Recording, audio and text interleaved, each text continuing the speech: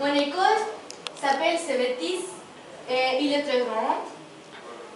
Euh, ça, c'est mon classe, c'est pour les graduations. On a un uniforme. On a des chemises blanches avec un pantalon euh, bleu, euh, des chaussures noires et des chaussettes blanches. On ne peut pas mettre une autre chaussette que c'est pas blanche. Ça. Euh, et on a aussi des sports, on a des football américain, des basketball, des football, euh, tout ça. Et mon passion, c'est la peinture.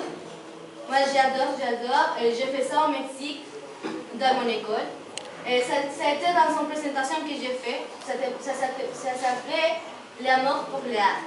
J'ai fait un photographe, un, bailarine, euh, un peinture aussi. Ça, c'est mon professeur.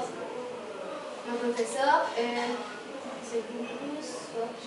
Ah, j'étais la, j'étais la reine